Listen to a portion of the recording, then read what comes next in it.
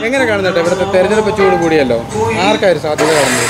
സത്യത്തിൽ എന്താ വെച്ചാൽ ഇവിടെ ഷാഫി പറമ്പിൽ ഒരുപാട് വികസന പ്രവർത്തനം നടത്തിയിട്ടുണ്ട്. അത് ഏകദേശം ഈ ഗ്രാമങ്ങളുടെ അകത്തേക്കാണ് കൂടുതലും. ഇപ്പോൾ ഗ്രാമീണ ഒരുപാട് സപ്പോർട്ട് പുള്ളിക്കുണ്ട്. അപ്പോൾ ആ ഷാഫി പറമ്പിലിന്റെ തന്നെ മറ്റേ ഒരു നോമിനി എന്ന നിലയ്ക്ക് ഈ രാഹുൽ പുള്ളി എന്താ എന്താണെന്ന് വെച്ചാൽ മൂപ്പര് പഠിക്കുന്ന കാലഘട്ടത്തിൽ തന്നെ നല്ല നിലയ്ക്ക് ജനങ്ങളുടെ ഇടയിൽ ഇടപഴകിയ ആളാണ്. ഈ കഴിഞ്ഞ നമ്മുടെ ആ വയനാട് ദുരന്തത്തിൽ തന്നെ വളരെ സ്കോഡായിട്ട് വർക്ക് ചെയ്ത് ഒരുപാട് ജനങ്ങൾക്ക് ജനപ്രദമായ കാര്യങ്ങൾ ചെയ്യുന്ന ആളാണ്. അപ്പോൾ സ്വാഭാവികമായിട്ടും നമ്മൾ രാഹുൽ ജയിക്കണമെന്ന് ആഗ്രഹിക്കുന്ന ഒരാളാണ്.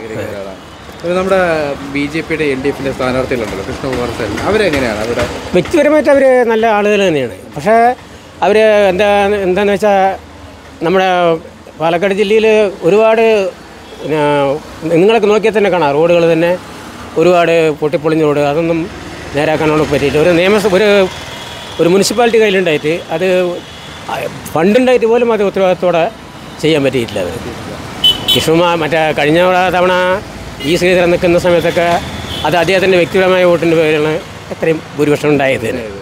ആ ഭൂരിപക്ഷമൊന്നും കൃഷ്ണകുമാർ കിട്ടുന്ന ചാൻസ് ഇല്ല ഈ സർക്കാർ വിരുദ്ധ വികാരം പിന്നെ എ ഡി എം വിഷയം ഇതെല്ലാം ഈ തെരഞ്ഞെടുപ്പിന് പാലക്കാട് തെരഞ്ഞെടുപ്പിൽ സ്വാധീനിക്കാൻ സാധ്യതയുണ്ടെന്ന് കരുതുന്നുണ്ട്? അതായത് ഈ സത്യം പറഞ്ഞാൽ ഭരിക്കുന്ന ഗവൺമെന്റിന് ഗവൺമെന്റ് രണ്ട് തവണ തുടർ ഭരണം കിട്ടിയതാണ്. സ്വാഭാവികമായിട്ടും ജനങ്ങളുടെ ആ ആശയ്ക്കനുസരിച്ച് ഇപ്പോൾ ആ ഭരണം ഉയരാൻ കഴിഞ്ഞിട്ടില്ല. അത് സത്യമാണത്. കാരണം അത് ഒരുപാട് പ്രശ്നങ്ങൾ അതിന്റെ പാർട്ടിക്കുള്ളിൽ തന്നെ ആയിക്കോട്ടെ ഭരണത്തിന് ഒരുപാട് പ്രശ്നങ്ങൾ പ്രശ്നങ്ങളുണ്ടായിട്ടുണ്ട്. പിന്നെ സ്വർണക്കടത്തുകൾ അങ്ങനെ മറ്റു കാര്യങ്ങളൊക്കെ. അപ്പോൾ സ്വ- സ്വാഭാവികമായിട്ടും ജനങ്ങളുടെ ഇടയിൽ ആ കഴിഞ്ഞ കാല ഗവൺമെന്റിന് കിട്ടിയ ആ ഒരു സപ്പോർട്ട് ഈ ഗവൺമെന്റ് കിട്ടിയിട്ടില്ല. അതൊരു സത്യമാണത് ഒരു തുടർ ഭരണം കിട്ടിയിട്ട് സാധാരണഗതിയിൽ തുടർ ഭരണം കിട്ടിക്കഴിഞ്ഞാൽ വളരെയധികം ജനങ്ങൾ വളരെ ആശയോടെ ഇരുന്നതാണ് ആ ഒരു അവസ്ഥ പഴയ ഗവൺമെന്റ് കിട്ടിയ ആ ഒരു ഇത് ഇതിന് അതൊരു സത്യമാണത്. ദുഃഖം കാണുന്നത് ഷാഫി ആയിരുന്നെങ്കിൽ ഷാഫിക്ക് തന്നെ ആയിരിക്കും. ഷാഫി ഖാന്റെ ബേസ് വെച്ച് നോക്കുന്ന സമയത്ത് ഷാഫി ഖാന്റെ വോട്ടുകൾ കൂടുതൽ കിട്ടാൻ ചാൻസ് ഉണ്ട്. ചാൻസ് ഉണ്ട്. പിന്നെ ത്രികോണ മത്സരം എന്ന് പറയാം. ബി ജെ പി സ്ട്രോങ് ആണല്ലോ ഇവിടെ. കൃഷ്ണകുമാറിനെ തന്നെ പ്രതീക്ഷിക്കുന്നത് കൃഷ്ണകുമാർ ജയിക്കുന്നു വിചാരിക്കും ഉറപ്പാണ്. കൃഷ്ണകുമാറാണ് കൃഷ്ണകുമാർ. ജയിക്കാനാണ് സാധ്യത. സാധ്യത. നമ്മുടെ മുനിസിപ്പാലിറ്റി അടുത്ത് പറഞ്ഞാൽ ബി ജെ പിക്ക് അനുകൂലമായ നിലപാട് മുനിസിപ്പാലിറ്റി ഉണ്ട് മറ്റുള്ള രണ്ട് മൂന്ന് പഞ്ചായത്തിൽ പറഞ്ഞാൽ കോൺഗ്രസിന് ഇതിന് അതിനൊക്കെ ചേഞ്ചുകളൊക്കെ വരികയാണ് പറഞ്ഞാൽ മൊത്തത്തിൽ എന്റെ ഒരു അഭിപ്രായം നോക്കും ഇപ്പോഴൊന്നും പറയാൻ പറ്റാത്തൊരു സ്ഥിതിയിലാണ്. അതാണ്. നമ്മുടെ കോൺഗ്രസ് നിൽക്കുന്ന കോൺഗ്രസ്. രാഹുൽ മാങ്കുട്ടം രാഹുൽ. സാധ്യത അത്രയും ഒരു സപ്പോർട്ടുണ്ട്. അത്ര ഒത്തൊരുമകളുണ്ട് അതാണ്. ഒത്തൊരുമയുണ്ട്.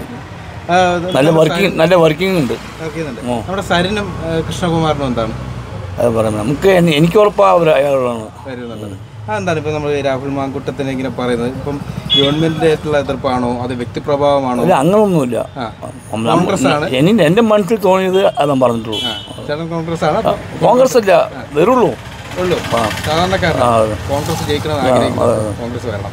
ഇപ്പം എല്ലാവരും ഒരേപോലെയാണ് നിൽക്കുന്നത്. ഇനിയിപ്പോൾ ആർക്കാണെന്ന് നമുക്കൊന്നും പറയാൻ പറ്റില്ല.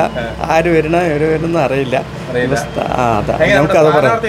സ്ഥാനാർത്ഥികൾ എന്ന് പറഞ്ഞാൽ എല്ലാം നല്ല ആൾക്കാർ തന്നെ സ്ഥാനാർത്ഥികൾ ഇപ്പോൾ നമുക്ക് ഓരോന്നിനും ഓരോന്നിനും അങ്ങനെ പറയാൻ പറ്റില്ലല്ലോ. ഏതാ നല്ല സ്ഥാനാർത്ഥി എന്ന്. ആർക്കായാലും ഞാൻ വോട്ട് ചെയ്യും. അതിപ്പോൾ ആർക്കായാലല്ല അല്ല എന്റെ മനസ്സിൽ ആരാണ് അവർക്ക് ഞാൻ വോട്ട് ചെയ്ത് കൊടുക്കും. ആ അതാണ് എന്റെ ഇല്ല മൂന്ന് പേരും ശക്തമായ സ്ഥാനാർത്ഥികളാണ്. ഒരു അടിയൊഴുക്ക് എന്തായാലും ഉണ്ടാവും. ഹൺഡ്രഡ് പേഴ്സന്റ് ആർക്കും പറയാൻ പറ്റില്ല. അതൊന്നും പറയാൻ പറ്റില്ല. ഇനി വരുന്ന ദിവസങ്ങളിൽ അറിയാല്ലേ അറിയാം. ചെറിയ ഭൂരിപക്ഷത്തിൽ ആരായാലും ജയിക്കില്ല. ഹൺഡ്രഡ് പേഴ്സന്റ് ഉറപ്പാണ്. ഉറപ്പാണ്.